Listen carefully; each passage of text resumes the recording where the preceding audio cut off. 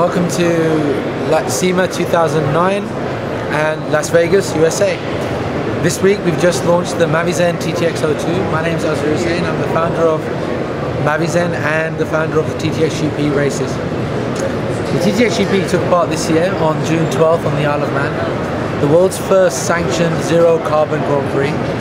We had races from around the world, uh, we had teams from around the world come along and take part in what is probably one of the most toughest road races in the world. The average speeds on our road races were around 80, 80 to 87 miles per hour. Peak speeds were between 102 and 106 miles per hour.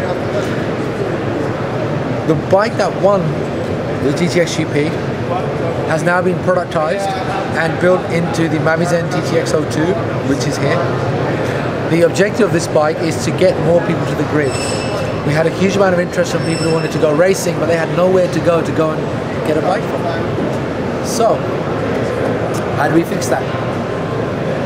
Working with our partners at KTM, we've built a brand new zero carbon electric super sport bike, which is here, the TTX02. This is available for customer delivery mid-March and will retail in its standard pack for around $40,000. We've also announced this week a series of races. In addition to the UK four round championship, we now have a US four round championship which kicks off on May 14th at the Infineon Raceway, Sonoma, California. So let's take you through the motorbike and uh, and see and tell you what, what it's about. First thing is we shouldn't call it a motorbike anymore. I think we should call it the electro bike. As a note to self. We've had a number of really brand new innovations, very much focused on motorsports. Firstly, talking to you about the chassis. The RC8 is probably one of the best chassis in the world for our application. It has a wonderful open frame structure. It allows us to package a huge amount of batteries very efficiently and it also allows us to bring a brand new innovation to motorsports which is a completely hot swappable drivetrain in under five minutes. The vision is, well, the plan is that the, when the bike pulls into a pit stop, the entire bike will be put up 90 degrees vertically onto its back wheel. At that point, the entire center section here will be removed and pulled out, like so.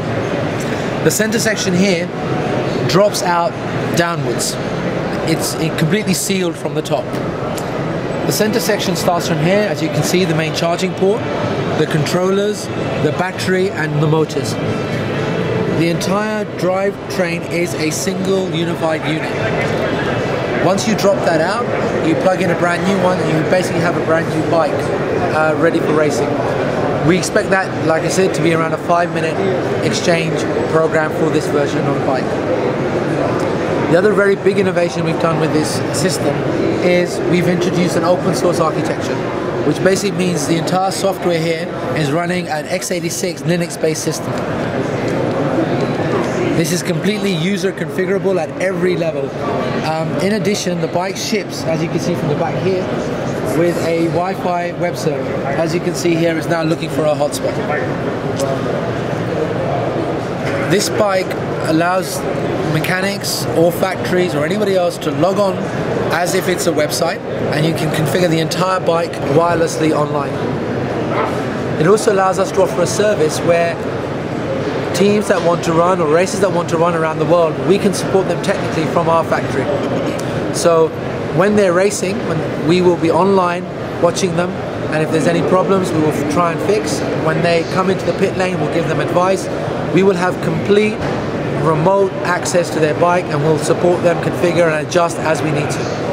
It also allows some innovative new social applications. For example, best lap time, best lap times uh, split by course can be uploaded onto our central system and downloaded onto the bike so people can race against their friends virtually at any track around the world. Over time, we hope to create a database of times and performances from famous personalities, from lots of people, and, and create a grid. Uh, so when you're racing, you're racing against some of the best people in the world, even if they're not there physically. This particular bike ships with two Agni motors um, and we have a number of different battery pack solutions. The motors themselves are brushed motors, DC direct drive. We have no we have no gearbox, so the whole system runs directly in, into the rear uh, drivetrain. The one of the benefits of having this particular architecture is we want to standardize on the mechanical platform of the RC8, but we allows us to modify the batteries, the motors, and the controllers as the technology moves on. So it's very easy for the end user to be able to change the system and protect their core investment on the frame, but be able to keep up with the technology as it evolves forward. It also allows us to diagnose issues easier. If there's any serious problem, they can just ship the central pack back to us and we can fix it and then send it back to them without having to move the entire bike uh, as a single unit.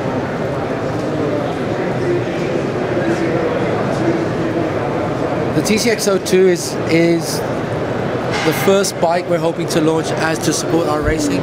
We have in our mind, in our plans now, TTX03, which is a motocross line, and we hope to introduce that during the 2010 season. Uh, we're very keen to expand our range into motocross, uh, and we see road racing and motocross as two incredible opportunities to really push forward electric uh, motorsports. I hope you've enjoyed the tour. We invite you to be part of it. It's a hell of an adventure, and uh, there's absolutely no reason why you can't be part. You can't have a chance to make history. It's incredibly affordable uh, motorsport. It's a sustainable motorsport, and it's coming to a, a circuit near you wherever you are in the world. Thanks very much.